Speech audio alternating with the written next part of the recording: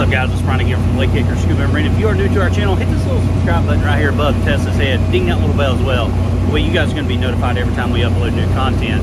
And we're still down here in Mexico. We're going out for our second day of boat diving.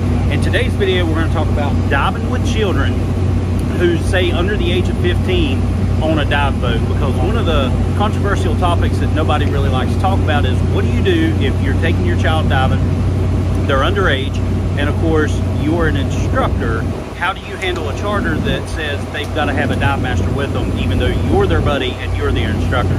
So let's talk about that today as we jump in all right, guys, so I want to start this dive out by explaining what a dive guide is because sometimes you may hear different terminology such as dive guide, dive master, dive leader.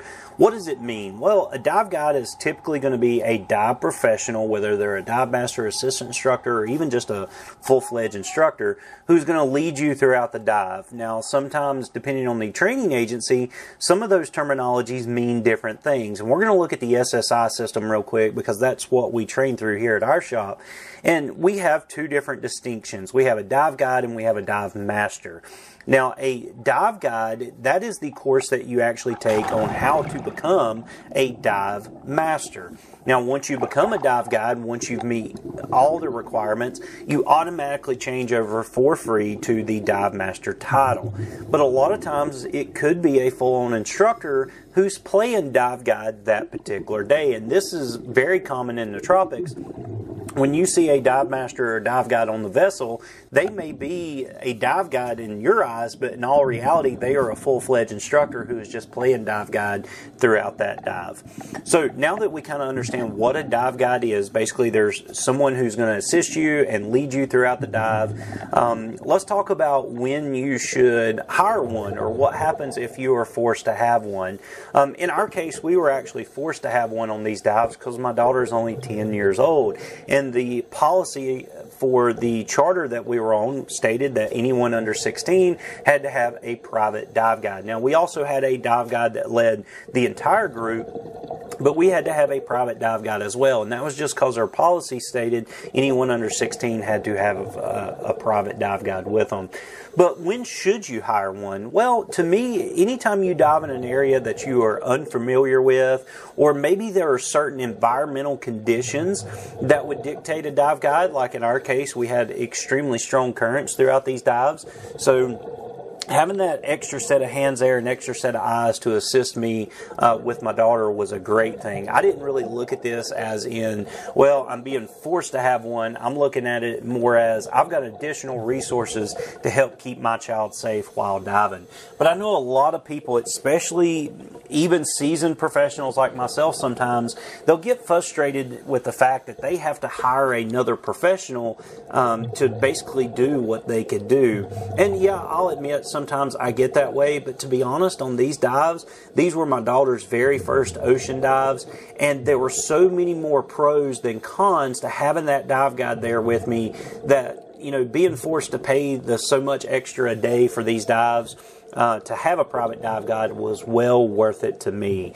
Um, because, like I said, my main goal was to keep my daughter safe while underwater, and it was difficult for me to uh, really point out certain things to her that I knew she really wanted to see underwater. But having that extra set of eyes there to help locate certain things, certain types of fish, and you know, just really neat stuff was really good. Plus, having a private dive guide that really knew the area and that was able to lead us through swim throughs and different things. It was really nice having him there, and I thoroughly appreciated his assistance in this. So, paying a little extra money per dive was not really a big deal to me at all. But let's kind of talk about, you know, how a dive guide should operate and what you should expect from a dive guide, and then furthermore, how you should um, how you should act around that dive guide. First of all, during the briefing, you really want to listen closely to what he says. You got to remember, he is typically going to be somebody who is very, very familiar with the area and the currents and the bottoms and the composition and the ecologies and all this, and so you need to listen during his briefing and even take notes. That's why we carry slates with us. Take notes throughout the briefing so that there's no miscommunications between you and him while underwater. He's going to tell you certain things such as bottom time, how long you're going to stay versus depth limitations. In our case, my daughter's only 10, so we did have depth limitations with her.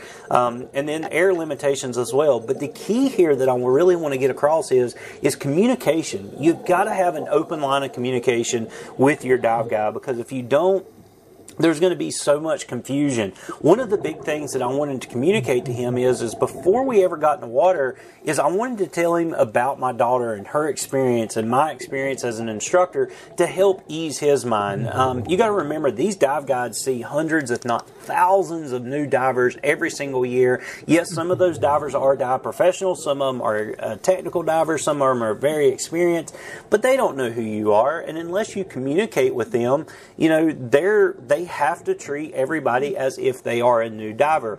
But all it takes is a little conversation with your dive guide before um, before the dive commences and to help ease their mind and help ease your mind. And I'm telling you, once I had a little conversation with him and told him basically, you know, my daughter is experienced. She's got about 150 dives under her belt. She's been in excess of 100 feet more times than not. She's used to a cold, dark, deep uh, lake that's extremely cold and nothing like what you're seeing in this video here. Um, and even we talked about her experience, and it wasn't just me talking about it; it was her talking about it. And after he saw how she was setting gear up and the equipment that she was using and how fluent she was with it, it really eased his mind. And he didn't try to really dictate anything that we did throughout these dives. So. Um, our private dive guide, I, I, probably should already mention his name. This is Mr. Jorge leading us here, and this guy is absolutely phenomenal. Um, if I ever go back down to Cozumel and dive with him again, I'll definitely pay to have him. Even if my daughter's not with me, I'll definitely pay to have him with me as well. But throughout the dive, uh, let's talk about how it should be conducted. Well, if he's a dive guide and he's guiding us, well, I let him guide. I didn't try to overtake him. Um, basically, I just said, okay, to show us what's cool down here. And he did. He led us throughout the shipwrecks. He led us throughout the swim throughs. Um, he was able to point out r- some really neat ecologies and things like that. And I, I did exactly uh, what he was there to do, or I let him do exactly what he was there to do. I let him guide us. I didn't fight it. Um, I know a lot of people, like I said, they're they're afraid to pay the extra money. They're afraid to they they're afraid they're going to feel like they're being treated like a child. And to be honest, in my experience, I didn't have that feeling whatsoever. From one dive professional to the next, I respected him, and I really enjoyed having him there as an extra set of eyes. Even at the end of the dive um, he was really cool and helping us on the boat, um, helping us get seated again, helping us get our gear stowed away because, you know, there's some rough seas out there. We had extremely strong currents. Um, there's a couple of days that we got caught in the rain and things like that, and he was able to help us as well. But the last thing I want to talk about on a dive guide uh, or a situation where you have a private dive guide, guys, I can't stress this enough please tip your dive guides. Yes, I had to pay extra to have a private dive guide with us because of my daughter's age. And you know what? I still tipped him at the end of the day. And I actually let my daughter tip him. I didn't do it. I let my daughter do it. And in our very next video, we are going to be talking about tipping and how much you should tip and when you should tip and some things to consider before you tip. So definitely stay tuned for that because I really hope you enjoyed this video. I hope it opened your eyes and I hope it, especially for the seasoned divers out there and even the dive professionals, don't be afraid of hiring a dive guide. Yes, you are a dive professional, you are an experienced diver, you're a technical diver, whatever your forte is, but don't be afraid to hire a dive guide. They do more good than they do harm, and they are an added blessing when you're underwater. I want to give a huge shout out to Mr. Jorge again. You are absolutely awesome. Both my daughter and I love diving with you, and the next time we're down in Cozumel, we're definitely going to look you up and hire you again. Uh, but guys, go check out Mr. Jorge down at Dive Paradise, and I tell you, you will not be uh, dissatisfied with him, you will definitely enjoy having him as a dive guide. Because I really hope you enjoyed today's video. If you did, give me a huge uh, thumbs up. Definitely share this video as well. If you've ever dove with Jorge, hey, give him a big shout out as well down in the comment section below. Because as always, make sure you follow us on Instagram and Twitter, like us on Facebook, pin us on Pinterest, subscribe to us here on YouTube, and as always, guys, we appreciate your business.